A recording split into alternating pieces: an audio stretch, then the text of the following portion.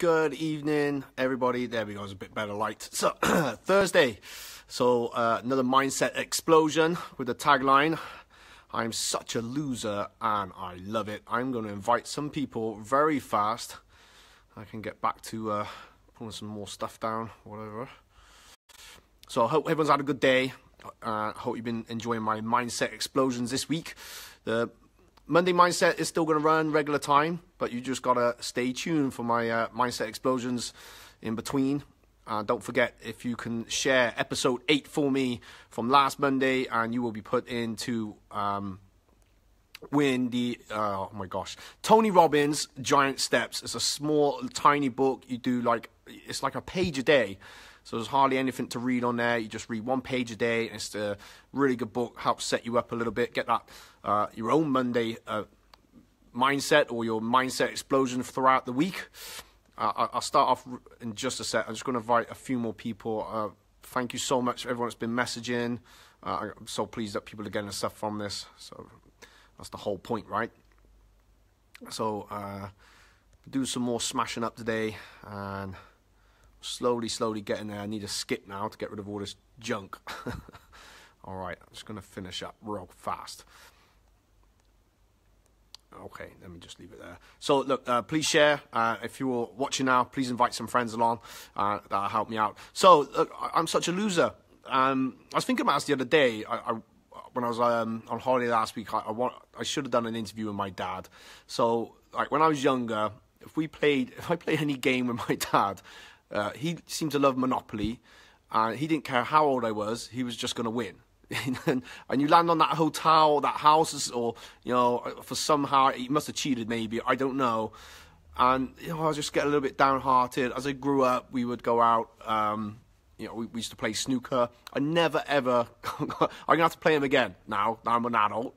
Because I think, I think I just took it wrong. I just took it, oh, I just can't, I'm no good at stuff, I'm no good. And I used to think he was a bit mean.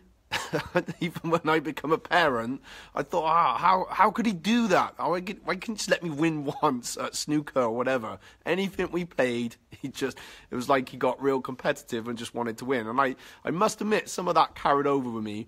And I realised, you know what? As an I love Monopoly too, man. I don't think my friends like playing that game with me. I know why, Ollie. Um, but I realised, you know what, it's little things like that, and even disappointments when I, you know, I didn't do great at school, so reports would come through. I would take words out of them that would disappoint me, and I realised that you know you can feel a bit like a loser, but losing is so good because what it does, it means that you know, as I've been saying, I, I'm building up this new academy. You know, going in for a business when I bought the business, setting out. It gave me this, you know what, I got nothing to lose mindset it's a little bit like the immigrant mindset. Just, I got nothing to lose. You know, it makes me, you know, now I'm hungry for stuff, and there's, you know, I, I'm. I don't think I can make myself be disappointed, you know, because I don't like that feeling anyway. So it drives me away from that.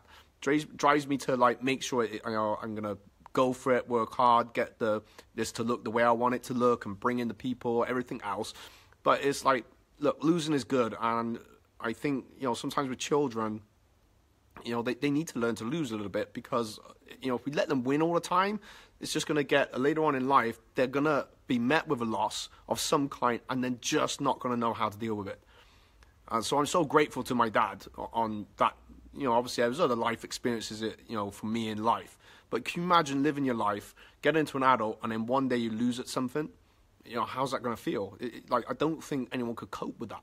So losing is definitely good, and it, it teaches you to you know, well, teaches you to be better anyway. You know, anyone that's gone into a competition, you lost it, it made you want to be better. If someone was faster in the race, then, you know, it makes sense you want to race against the fastest people. You can only get better. If uh, I say with business, I want to compete, not compete, I, I, I strive to be better, you know, than, you know, I, I, look at people that are doing so well and I think, oh, okay, they're, they're doing that and I'm going to see if, you know, I want to find out how they do that because I want to be as good as good as that, if that makes sense. I want to provide a great service. I want to provide a great product. I want to provide great facilities. But not to have that ego of, oh, I'm better than you. It's just, I hope then they do better and, you know, we're all pushing each other along. And it's the same for anything. So, you know, even when I was training, um, Stephen Thompson, uh, whoever I partner up with, I want them to be better than me. And I encourage my students. Listen, I want you all to be better than me. I want you to be better martial artists than me because it's going to push me to what to want to do better. And then everyone, you know, we all achieve together. So look, losing is not so bad. It, yeah, maybe you have that disappointment, but it, you know, I think it it sets you up to you know be hungry to want to do more, achieve more. And same with children. You know, we need to they need to understand what it feels like to lose, and of course win. But it, you know, I think that's an important factor. So losing is not such a bad thing. I think I'm gonna have to challenge my dad to a game of snooker though. Uh, we're just gonna keep doing that until I do win, even though I hate snooker. But hey, that's a, that's another story. All right, guys. Uh, hope you got something from this. Uh, do apologize. My tone is a bit different tonight. I'm very tired, um, and of course I had a real good shave today. Uh, not. Uh, so enjoy your Thursday evening. I was going to do a throwback, um, but I'll do one maybe tomorrow for Friday or something like that. Cheers, guys. Thank you very much. And please share this uh, mindset explosion. It's my new name, Pow. See you later, guys.